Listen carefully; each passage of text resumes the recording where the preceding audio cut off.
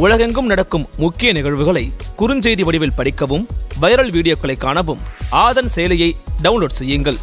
ஆதன் செயலியை டவுன்லோட் செய்ய டிஸ்கிரிப்ஷனில் உள்ள லிங்கை கிளிக் செய்யவும். அமெரிக்காவின் நாடாளுமன்றத்துக்குள்ள வரலாற்றிலே இருக்கும் நிகழாத அளவில் போராட்டக்காரர்கள் உள்ளே புகுந்து வன்முறையில் ஈடுபடக்கூடிய அளவுக்கு ஒரு நிகழ்வு நடந்துகிட்டு இருக்கிறத நம்மளால பார்க்க முடியுது. ட்ரம்ப் இப்படி அடம்பிடிப்பதற்கான காரணம் என்ன? அவர் துரத்தி துரத்தி ட்ரம்ப்பை வந்து இனிமே நடவடிக்கை எடுத்து அவர் மீது அஹ், குற்றச்சாட்டுக்கள் எல்லாம் கொண்டு வந்து நீதிமன்றத்தின் முன் சென்று அவரை ட்ரையல் கேல் எல்லாம் பண்ணாங்கன்னா பிரிடாமினா வெள்ளையர்கள் அதுல பெரும்பாலானவர்கள் வெள்ளைய ஆண்கள். அமெரிக்காவுல மக்களை பிளவுபடுத்தி அதில் ஆதாயம் கிடைக்குமா? இது ஒரு தேச துரோகமான விஷயங்க அப்படிங்கிற மாதிரி நிறைய பேர் பேசியிருந்தாங்க அப்படின்னா அவர் நடவடிக்கை எடுப்பார் அப்படின்னு தான் சொல்ல முடியும். அதுக்குள்ள தயங்குவார் மீண்டும் நிறைய சிக்கல்கள் வரும் அப்படின்னு பின்வாங்குவார் நினைக்கிறீங்களா ஜோ பிடன்? இதை நாம் ஏற்றுக்கொள்ள முடியாது. இங்கு இந்த மன்றத்தில் குடியரசுக் கட்சி ஜனநாயக கட்சிங்கிறது நாங்க பார்க்க மாட்டோம். நாம் எல்லோரும் அமெரிக்க நாடுதான் முக்கியம். கொடியை வந்து ஒரு சில போராட்டக்காரர்கள் பயன்படுத்தி இருந்தாங்க சார். அது ரொம்ப வருத்தம் அளிக்கிற ஒன்று. ஏன்னா நம்ம பிரதமரே வந்து அங்க போய் அப்கி பார் ட்ரம்ப் சர்க்கார்னு சொன்னார். அது வந்து ஒரு மிகப்பெரிய தவறு. கட்சிக்கு எதிராக அதாவது ட்ரம்ப் தான் வந்து குடியரசுக் கட்சி. அவருடைய கட்சியினரே வந்து நின்று சொல்றாங்க இவர் பண்றது தப்பு. தொடர்ந்து இந்தியர்கள் அமெரிக்கால ஜனநாயக கட்சியினுடைய ஆதரவாளர்கள். இத்தனை ஆண்டு காலமாக. பர்டிகுலரா அந்த கடந்த நான்கு ஆண்டுகளில் கணிசமான எண்ணிக்கையில் அவர்கள் குடியரசுக் கட்சிக்கு ஆதரவு தெரிவிக்க தொடங்கி இருக்கிறார்கள் வேறு எந்த நாட்டுல என்ன நடந்தாலும் அவங்க தான் உலகத்தினுடைய ஓனர் மாதிரி ஒரு ஸ்டேட்மெண்ட் விடுவாங்க. டர்க்கி ஸ்டேட்மெண்ட் விடுறாங்க. அமெரிக்காவில் நடப்பது மிகவும் கவலை அளிக்கிறது. ஜனநாயகம் காப்பாற்றப்படுற டர்க்கியில சே அமெரிக்காவும் ஒரு சாதாரண ஒரு நாடு தான் போல் இருக்குப்பா யார் வேணா உள்ள போய் அடிச்சு உடைச்சிடலாம் போல் இருக்கு அப்படிங்கிற ஒரு மனநிலையை சாதாரண மக்களுக்கு உண்டாக்காதா? சீனா அதை எப்படி பார்ப்பாங்க? என்னை பொறுத்த வரைக்கும் நேற்று நடந்த சம்பவம் அமெரிக்காவுக்கு ஒரு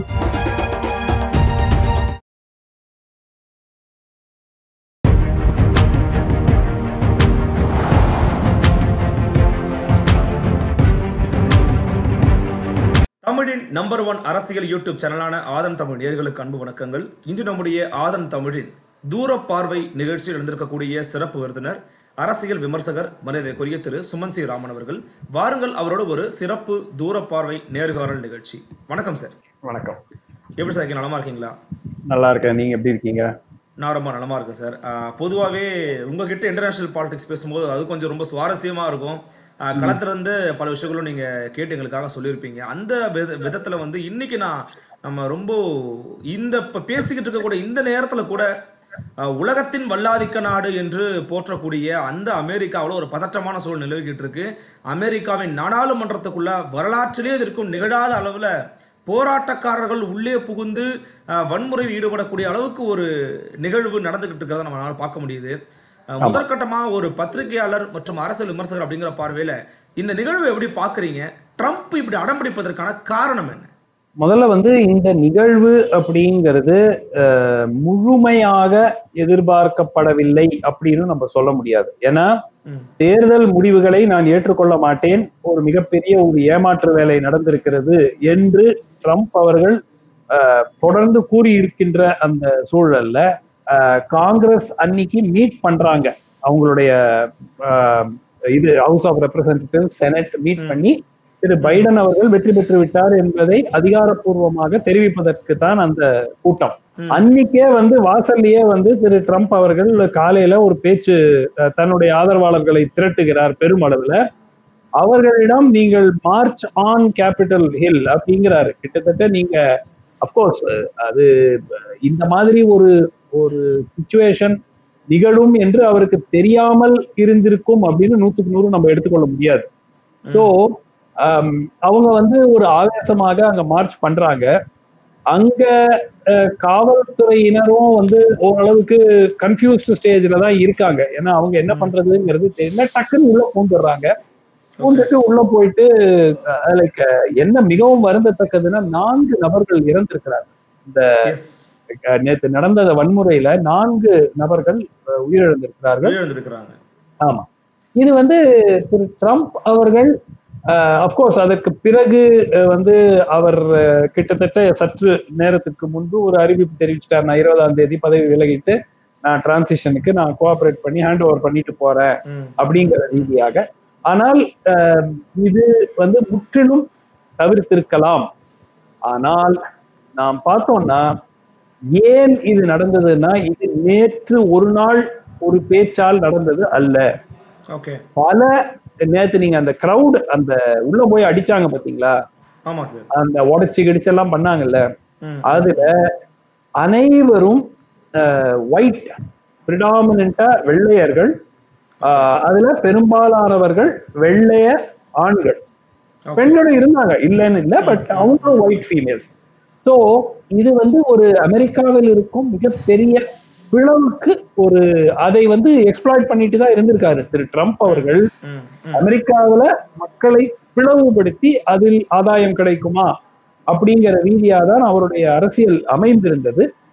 அதை அதனுடைய ஒரு ஒரு நீட்சியாகத்தான் நேற்று நடந்த ஒரு சம்பவத்தை பார்க்கணுமே தவிர நேற்று திடீர் என்ற ஒரே ஒரு பேச்சினால வந்து எல்லாரும் கோவப்பட்டு அங்க போய் எல்லாத்தையும் உடைச்சாங்கிறது எடுத்துக்கவே முடியாது.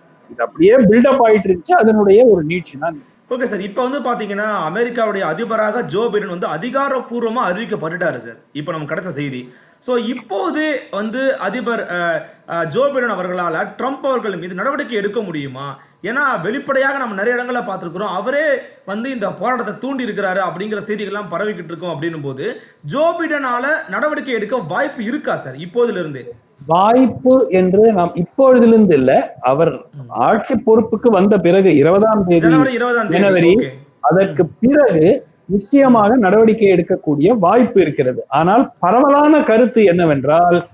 அவர் அந்த மாதிரி வந்து ரொம்ப மும்முரமாக செய்ய மாட்டார்.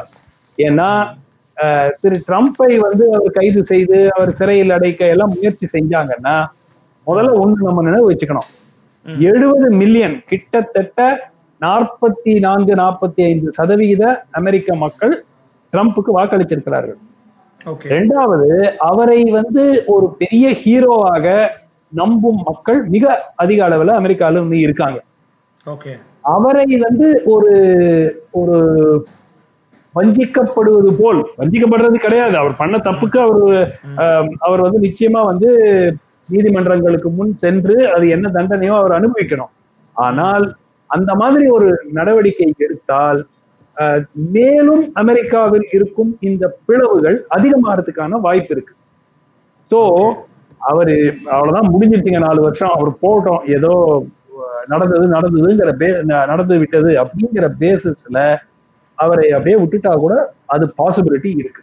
ஏன்னா பைடன் அவர் துரத்தி துரத்தி ட்ரம்ப்பை வந்து இனிமே நடவடிக்கை எடுத்து அவர் மீது அஹ், குற்றச்சாட்டுக்கள் எல்லாம் கொண்டு வந்து நீதிமன்றத்தின் முன் சென்று அவரை ட்ரையல் கேல் எல்லாம் பண்ணாங்கன்னா நிச்சயமாக அதுக்கு ஒரு பேக்லாஷ் அமெரிக்காவில் இன்னும் வரும். ஏன்னா அவருக்கு அந்த ஒயிட் பேஸ் சப்போர்ட் இருக்கிறது. இந்த இவாஞ்சலிக்கல்ஸ் ஒயிட் பேஸ் அந்த மிட்வெஸ்ட் ஸ்டேட்ஸ்ல இருக்கிறவங்க அவங்க எல்லாம் தீவிரமா அவர் ஆதரவு ஆதரிக்கிறாங்க. ஸோ நேற்று ஏன் இது சுமூகமாக முடிந்தது கடைசியிலன்னு பார்த்தோம்னா அவருடைய நெருக்கமான இருந்த கிட்டத்தட்ட எல்லோருமே வந்து இனிமேல் இது வந்து இவர் ஆதரிக்க கூடாது அப்படிங்கிற பேசிஸ்ல இந்த முடிவுக்கு வந்தாங்க. அந்த மிச் மெக்கானல் போன்றவர்கள் எல்லாம் இவ்வளவு நாள் ட்ரம்ப்பை ஆதரித்து கொண்டுதான் இருந்தார்கள். ஆனால் அவர்களுக்கே வந்து நேற்று நடந்த சம்பவங்கள் இனிமேல் வந்து நம்ம சும்மா இருக்கக்கூடாது அப்படின்னு சொல்லிட்டு தான் பைடன் வந்து அவங்க அதிகாரப்பூர்வமாக அந்த அறிவிப்பு காலையில மூணே கால் மணி அவங்க டைம் மூன்றரை மணி கிட்ட அந்த மீட்டிங் முடிஞ்சு அறிவிச்சிட்டாங்க. என்னோட கேள்வி என்னன்னா இப்போ ட்ரம்ப் நடவடிக்கையை வந்து விமர்சனம் பண்ணும்போது இது ஒரு தேச துரோகமான விஷயங்க அப்படிங்கிற மாதிரி நிறைய பேர் பேசியிருந்தாங்க அப்படின்னா ஒரு ஆன்டி நேஷனல் விஷயத்த பண்ணியிருக்கிறாருன்னா அப்போ அவர் நடவடிக்கை எடுப்பாரு அப்படின்னு தான் சொல்ல முடியும். அதுக்குள்ள தயங்குவாரு மீண்டும் நிறைய சிக்கல்கள் வரும் அப்படின்னு பின்வாங்குவார்னு நினைக்கிறீங்களா ஜோ பிடன்? பின் வாங்குவார் அப்படின்னு நான் சொல்லல. அது அந்த அந்த ரூட்டுக்கே போக மாட்டார் அப்படிங்கறதா என்னுடைய கருத்து. ஏன் அப்படின்னு பார்த்தோம்னா முதல்ல வந்து ட்ரம்ப்பை பொறுத்தவரை அவர்தான் மிகப்பெரிய தேசியவாதியாக தன்னை காட்டிக் கொள்கிறார் நேஷனலிஸ்ட்னாக்க மேக் அமெரிக்கா கிரேட் அகெயின்ங்கிறது தான் அவருடைய ஸ்லோகனே. மாகா மாகான்னு தான் சொல்லிட்டு போறாங்க. ஸோ அவர்தான் அமெரிக்க அமெரிக்காவினுடைய அந்த தேசியவாதத்திற்கு ஒரு சிம்பலாக தன்னையே காட்டிக் கொண்டிருக்கிறார் ஸோ இது தேச விரோதமான ஒரு செயலான நிச்சயமா வந்து பாராளுமன்ற உதாரணத்துக்கு நம்ம ஊர் பாராளுமன்றத்துல இந்த மாதிரி ஒரு கூட்டம் உள்ள போனாக்கா நிச்சயமா அது வந்து தேச விரோதமான செயலா தான் இருக்கும். அதை வந்து மாற்று கருத்து முடியாது. ஆனால் அவரை மீண்டும் மீண்டும் சீண்டினால் அவர் இன்னும் ஒரு ஒரு பவர்ஃபுல் ஃபோர்ஸாக உருவாகிறதுக்கான வாய்ப்பு இருக்கிறது. ஸோ பைடன் அவர்கள் நிச்சயமாக நேற்று நடந்த சம்பவம் மிகப்பெரிய ஒரு ஒரு பரபரப்பை வந்து ஏற்பட்டிருக்கிறது. ஆனால் அதற்கு முன்பு வரை உறுதியாக பரவலான கருத்து பைடன் வந்து ட்ரம்ப் ட்ரம்ப்பை வந்து சீண்ட மாட்டாரு. ஏதோ முடிஞ்சது முடிஞ்சு போச்சு. ஏதோ யாரோ தனிநபர் வந்து கேஸ் ஃபைல் பண்ணாங்கன்னா ஃபைல் பண்ணிக்கங்க. அரசாங்கமே வந்து அவரை தொடர்ந்து போறது வந்து செய்ய மாட்டாங்கன்னு. கோர்ஸ் நேத்து நடந்த பிறகு இன்னும் சில நாட்கள்ல தான் நமக்கு தெரியும் அந்த பதில். சார் இப்போ ஜனவரி இருபதாம் தேதி சுமூகமாக ஜோ பிடன் அவர்களுடைய இந்த பதவி ஏற்பு நடக்கும்னு நீங்க நினைக்கிறீங்களா? அது. அதுல அது வரைக்கும் எந்த சிக்கலும் உருவாகாதுன்னு நினைக்கிறீங்களா? ட்ரம்ப் அவர்கள் தன்னுடைய தோல்வியை ஒப்புக்கொள்வாரா? அல்லது மேல்முறையீட்டுக்கு போவார் சார்? ஏன்னா ஏற்கனவே நம்ம மேல்முறையீடு வழக்கு கூட தொடர்வதற்கான வாய்ப்புகள் இருக்கிறத நம்ம தொடர்ந்து பார்த்துக்கிட்டு இருந்தோம். ஸோ அந்த நிகழ்வு எப்படி நீங்க கணிக்கிறீங்க சார்? இல்ல ஐ திங்க் அவர் இந்த கடைசி ஒரு மணி ரெண்டு மணி நேரத்துக்கு முன்னாடி வந்த அறிவிப்பின் அடிப்படையில் நான் இருபதாம் தேதி விலகி விடுவேன் அப்படிங்கிற ரீதியாக சொல்லியிருக்கிறார். சோ இனிமேல் வந்து சட்ட ரீதியாக அவர் அந்த முயற்சிகளை தொடர்ந்தாலும் நேற்று நடந்த சம்பவம் போலோ இந்த பிரச்சனையை உண்டாக்கக்கூடிய விஷயங்களில் அவர் ஈடுபட மாட்டார். சட்ட ரீதியாக அவர் தொடரலாம். அது வந்து வெற்றி பெறுவதற்கான வாய்ப்பு மிகவும் குறைவு. ஆனால் நான் ஒரே ஒரு விஷயம் சொல்றேன். அமெரிக்காவுல ஏன் ட்ரம்ப்புடைய முயற்சிகள் வெற்றி பெறவில்லை? அந்த இன்ஸ்டிடியூஷன்ஸ் சுப்ரீம் கோர்ட்ல யாரு உட்கார்ந்து இருக்கிறது இவர் அமிச்ச ஆளுங்க தான். இவருக்கு தான் இவருடைய ஆளுங்க தான் உட்கார்ந்து இருக்காங்க ஆனால் அந்த கேஸ் அவங்க முன்னாடி வரும்போது இல்லை நாடுதான் முக்கியம். அப்படி எது சரியோ அதுதான் நாங்க முடிவு எடுப்போம்னு சொன்னாங்களா இல்லையா? அதே மாதிரி எல்லா இடத்துலயும் சில நாட்களுக்கு முன்பு ஜாயிண்ட் சீஃப்ஸ் ஆஃப் ஸ்டாஃப் ராணுவத்தினுடைய ஒரு தலைவர் திட்டவட்டமாக சொல்றார். எங்களுடைய லாயல்டி வந்து ஒரு நபருக்கோ ஒரு கட்சிக்கோ கிடையாது. எங்களுடைய லாயல்டி அமெரிக்காவினுடைய கான்ஸ்டிடியூஷன் அரசியல் சாசன சட்டத்துக்கு தான் எங்களுடைய இது லாயல்டி இருக்கு. அதுக்கு தான் சொல்றாரு. நாங்க நேர்மையா இருப்போம்னு சொல்லியிருக்காங்க. அதுக்குதான் நாங்க நேர்மையா இருப்போம் அப்படின்னாரு. இதெல்லாம் அதே மாதிரி மீடியா மீடியா கூட பாருங்க எவ்வளவு மீடியா வந்து அப்கோர்ஸ் பலர் வந்து சொல்லலாம் அவங்க வந்து ஓவரா வந்து போனாங்க நிறைய விஷயங்கள்ல ட்ரம்ப்புக்கு எதிராக கிட்டத்தட்ட ஒரு கேம்பெயினே நடத்துனாங்க அது நியூயார்க் டைம்ஸா இருக்கட்டும் சிஎன்என்னா இருக்கட்டும். அவங்க எல்லாம் வந்து அதையே வந்து ட்ரம்ப் வந்து ஃபேக் நியூஸ் ஃபேக் நியூஸ் தான் சொல்லிட்டே இருப்பாரு ஆனால் நேற்று நடந்த சம்பவத்துல வந்து நான் இந்தியா உடைய ஒரு டிஃபிஷியன்சியை தான் நான் பாக்குறேன் அமெரிக்கால நேற்று ஒரு ஒரு கலகம் மாதிரி ஒன்று நடந்ததுங்கிறது மிகவும் வருந்தத்தக்கது. ஆனால் ஆறு மணி நேரத்திற்குள் சம்பவத்திற்கு முற்றுப்புள்ளி வைக்கப்பட்டது. அனைவரும் குடியரசுக் கட்சியை சேர்ந்தவர்களும் சரி ஜனநாயக கட்சியை சேர்ந்தவர்களும் சரி இல்லை ஜனநாயகத்தை காப்பாற்றுவோம். வந்தாங்க நின்று பேசினாங்க ம். முடிவு எடுத்தாங்க ஜோ பைடன் மூணே கால் மூணு இருபது மணி மூன்றரை மணி காலையில அவங்க அறிவிக்கிறாங்க. ம். அதற்குள்ள அதற்குள்ள இதுக்கு சில நாட்களுக்கு முன்பு ஒவ்வொரு கிட்டத்தட்ட நாற்பத்தி ஐந்து கேசஸ் வந்து எல்லாமே டிஸ்மிஸ் ஆயிருக்கு. ட்ரம்ப் உடைய ஆதரவாளர்கள் ஃபைல் பண்ண கேஸ் இந்த எலெக்ஷன்ல ஃப்ராட் நடந்துச்சு அப்படின்னா அந்த நாட்டினுடைய இன்ஸ்டிடியூஷன்ஸ் அந்த நீதிமன்றங்களினுடைய ஸ்ட்ரென்த் எவ்வளோ? பாத்துக்குங்க அந்த டிஃபென்ஸ் போர்சஸ்னுடைய ஸ்ட்ரென்த் எவ்வளோ? பாராளுமன்ற அவங்களுடைய பாராளுமன்ற உறுப்பினர்களினுடைய நேர்மை எவ்வளவுன்னு பாருங்க கட்சிக்கு எதிராக அதாவது ட்ரம்ப் தான் வந்து குடியரசுக் கட்சி. அவருடைய கட்சியினரே வந்து நின்று சொல்றாங்க இவர் பண்றது தப்பு. இதை நாம் ஏற்றுக்கொள்ள முடியாது. இங்கு இந்த மன்றத்தில் குடியரசுக் கட்சி ஜனநாயக கட்சிங்கிறது நாங்க பார்க்க மாட்டோம். நாம் எல்லோரும் அமெரிக்க நாடுதான் முக்கியம். இந்தியாவில் நடக்குமா? யோசிச்சு பாருங்க. சார் அப்போ என்னோட கேள்வி இன்னொன்று நான் இது இந்த போராட்டத்தை நீங்க முழுமையா நிறைய பிக்சர்ஸ் வந்திருந்தது. நீங்க பிக்சர்ஸ்லாம் பார்த்துருப்பீங்கன்னு நினைக்கிறேன். ரொம்ப எனக்கு ரொம்ப அதிர்ச்சியா இருந்தது. ஆஸ் அ பர்சனால எனக்கு ரொம்ப அதிர்ச்சி உங்களுக்கு ரொம்ப அதிர்ச்சியா இருந்ததுன்னு நினைக்கிறேன். இந்திய கொடியை வந்து ஒரு சில போராட்டக்காரர்கள் பயன்படுத்தி இருந்தாங்க சார். அதுக்கான கோ நம்ம ஃபோட்டோஸ் பார்த்து பார்க்க முடிஞ்சிருக்கோம். பாலகிருஷ்ணன் ஐஏஎஸ் அவர்கள் கூட இது வந்து ரொம்ப தவறான விஷயம். இந்த மாதிரி பயன்படுத்திருக்க கூடாது அப்படின்னு நம்ம சொல்லியிருந்தாங்க. ஸோ இந்த விஷயத்தை நீங்க எப்படி பாக்குறீங்க நிச்சயமா பயன்படுத்தி இருக்க கூடாது. அது யார் பயன்படுத்தினார்கள் அப்படிங்கிற செய்தி இன்னும் கொஞ்ச நாள்ல வரும். கண்டுபிடிச்சு வைப்பாங்க. பட் யா எதனால அந்த அந்த கொடி அங்க இருந்திருக்க கூடாது? தேசிய கொடி அங்க இருந்திருக்கிறதுக்கு அதற்கு இடமே போராட்டக்காரர்கள் மத்தியில அப்படி கொண்டு போகும்போது இப்ப இந்தியாவுடைய பிரஜைகள் வந்து ட்ரம்பை ஆதரிக்கிறார்கள் அப்படிங்கிற ஒரு நிலைப்பாட்டை உருவாக்குவது போல அது- ரொம்ப வருத்தம் அளிக்கிற ஒன்று. ஏன்னா நம்ம பிரதமரே வந்து அங்க போய் அப்கி பார் ட்ரம்ப் சர்க்கார்னு சொன்னார். அது வந்து ஒரு மிகப்பெரிய தவறு. ஏன்னா. ஒரு நாட்டுல ஒரு தேர்தல் நடக்கும்போது வேறு ஒரு நாட்டினுடைய தலைவர் அந்த தேர்தலில் யார் வெற்றி பெறுகிறார்களோ அவர்களோடு நாங்கள் பணிபுரிவோம் அவர்களுக்கு வாழ்த்துக்கள்னு சொல்லிட்டே இருக்கணுமே தவிர தேர்தலுக்கு முன்னாடி ஓப்பனா போய் அடுத்த ஆட்சி ட்ரம்ப் ஆட்சியாக இருக்கட்டும்னு எப்படி நம்ம எப்படி சொல்ல முடியும்? அது மிகப்பெரிய தவறு. அதன் காரணமாகத்தான் உங்களுக்கு ஒரு விஷயம் நீங்க பாருங்க. தொடர்ந்து இந்தியர்கள் அமெரிக்கால ஜனநாயக கட்சியினுடைய ஆதரவாளர்கள். இத்தனை ஆண்டு காலமாக க- ஆனால் கடந்த ஒரு பத்தாண்டு காலமாக பர்டிகுலரா அந்த கடந்த நான்கு ஆண்டுகளில் கணிசமான எண்ணிக்கையில் அவர்கள் குடியரசுக் கட்சிக்கு ஆதரவு தெரிவிக்க தொடங்கி இருக்கிறார்கள் ஓ அதற்கு ஒரு காரணமும் மோடியினுடைய ஒரு ஆதரவாக இருக்கக்கூடும். அவர் வெளிப்படையாகவே கிட்டத்தட்ட அங்க ட்ரம்ப் அவர்களுக்கு பிரச்சாரம் என்று கூட எடுத்துக்கொள்ளலாம் பிரச்சாரமே வந்து செய்யற அளவுக்கு போனார். அது ஒரு மிகப்பெரிய தவறு. அது அதனுடைய அஹ், தாக்கம் தான் இந்த கொடியை நம்ம பார்த்திருக்கலாம் நினைக்கிறேன். அது தெரியாது. இனிமேதான் கண்டுபிடிக்கணும். ஓகே சார் இந்த இஷ்யூல இந்தியா வந்து எந்த மாதிரி நிலைப்பாடு எடுக்கும் நீங்க நினைக்கிறீங்க? அல்லது இந்தியா தலையிடாம இருக்கிறது இந்தியாவுக்கு நல்லது நினைக்கிறீங்களா? ஏன்னா எப்படியுமே இந்தியாவும் அமெரிக்காவும் இப்போ நல்ல உறவுல இருந்துகிட்டு இருக்காங்க அப்படின்னும் போது இந்தியா என்ன மாதிரி ஸ்டாண்ட் எடுப்பாங்க நீங்க நினைக்கிறீங்க சார்? முதல்ல வந்து பிரதமர் ஒரு ஸ்டேட்மெண்ட் வெளியிட்டு இருந்தார் இது வந்து வேறு ஒரு நாட்டினுடைய உள்நாட்டு விவகாரம். இல்லையா? இப்போ வேறு நாடுகள் சமீபத்துல விவசாயிகள் போராட்டத்தை பத்தி அறிக்கை விடும்போது நம்ம என்ன சொன்னோம்? இதுக்கும் உங்களுக்கும் என்ன சம்பந்தம் இருக்கு? எங்களுடைய உள்நாட்டு பிரச்சனையில நீங்க ஏன் தலையிடுறீங்க? ஏன் மூக்க விடுறீங்க? சொன்னோமா இல்லையா? அப்புறம் நம்ம எந்த அடிப்படையில நம்ம ஒரு ஸ்டேட்மெண்ட் விடுறோம்? அமெரிக்காவில் நடக்கிற ஒரு அது வந்து உள்நாட்டு பிர- பிரச்சனை தானே இது?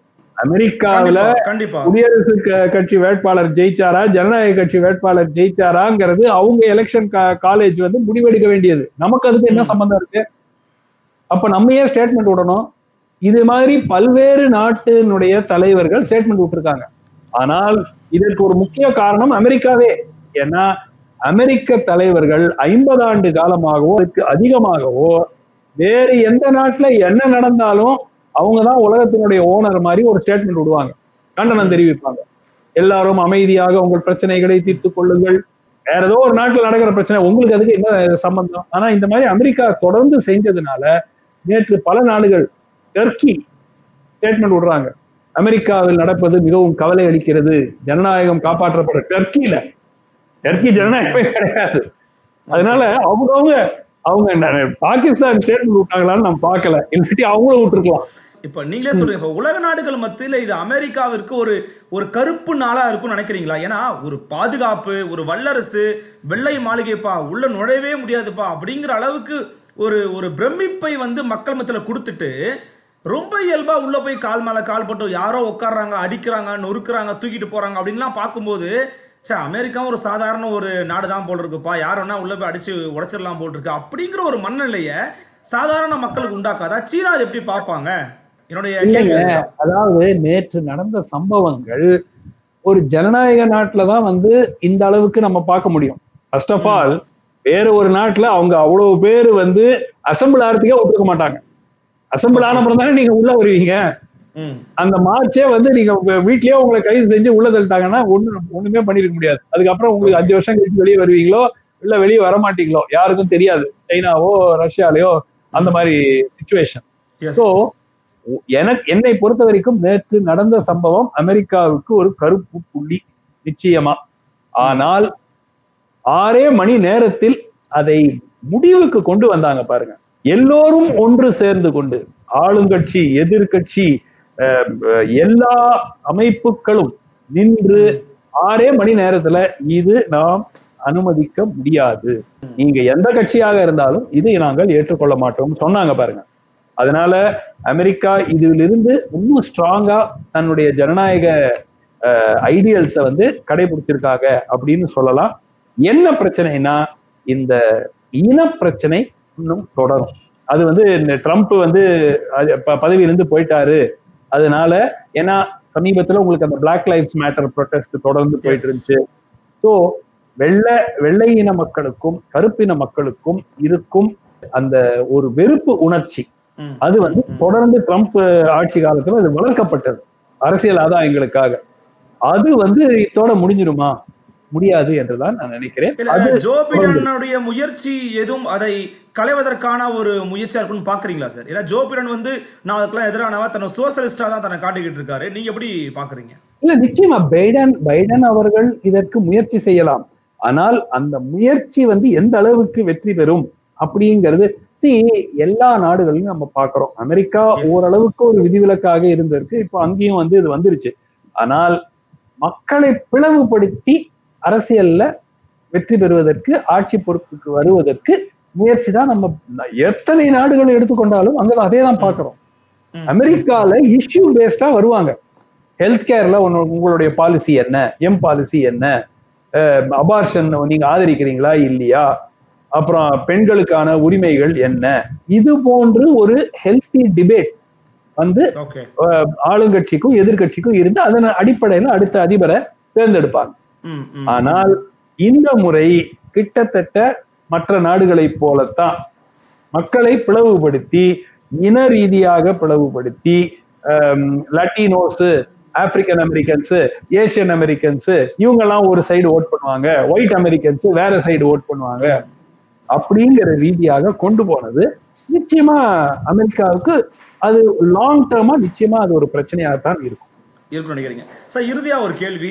எப்படி வந்து இரண்டா இருபதாம் தேதி அவர் எந்த விதமான சிக்கலும் இல்லாம பதவியேற்றுவார்னு நினைக்கிறீங்களா?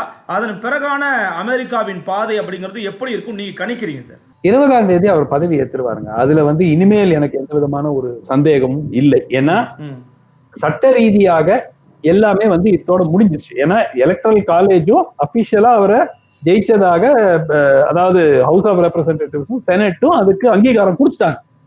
முடிஞ்சு போச்சு. இனிமே வந்து ஒண்ணுமே கிடையாது. அது வந்து அவருடைய ஸ்வேரிங் இன் செரிமனி நடக்கணும். அவ்வளவுதான்.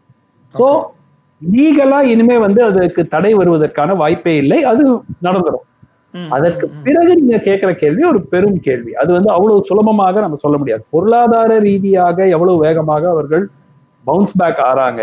மிக முக்கியமா நேற்று நான்காயிரம் நபர்கள் இறந்திருக்கிறாங்க கோவிட்ல நேற்று மட்டும். நான்காயிரம். நபர்கள் இறந்திருக்கிறாங்க. நாலாயிரத்தி நூறு பேர்.